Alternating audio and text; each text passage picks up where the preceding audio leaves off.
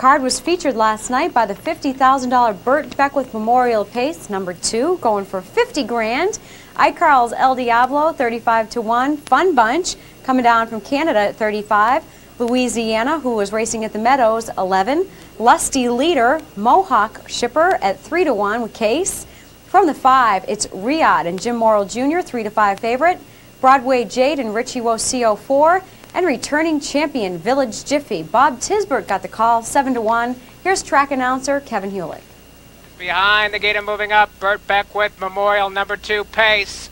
And they're off and pacing at Foxboro Park down the inside. Fun bunch out quickly. iCarl's El Diablo at the rail. There goes Riyadh. And Riyadh moves up quickly into contention. Broadway Jade is right there, and he's gaining. Round the first turn they go at Foxboro, and Riyadh looks to clear down the inside. Fun Bunch is second. Broadway Jade with cover up on the outside third. iCarl's El Diablo saving ground at the rail. And we come back to Louisiana, followed by Lusty Leader and Village Jiffy. Village Jiffy will try and close from last. The opening quarter falls in 27 and 3. And with a burst of speed, that's Broadway Jade. Richard Wocio says, let's go, and Riyadh won't let him clear. Into the paddock turn they come. Broadway Jade on the outside. Riyadh keeps him parked out. Those two are now head and head.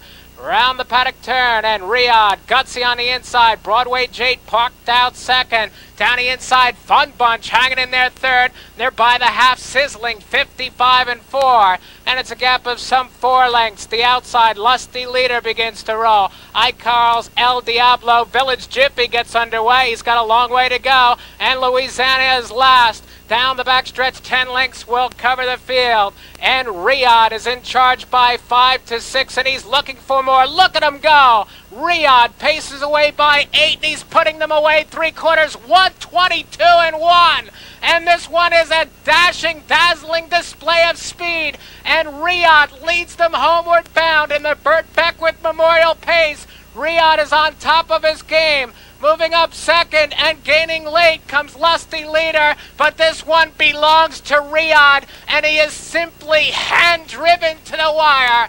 It's Riyadh in the Bert Beckwith Memorial, the time and all-time track record, 151 and 3 fastest mile ever paced here at Foxboro Park. It's Riyadh in front of the teletimer 151 and 3. They came a 26 and 4 third panel. Riyadh is owned by Peter Heffering of Ontario, trained by Bill Robinson, and in for the drive, Jim Morrill Jr. Finishing second, Lusty Leader first over, Louisiana from last to third.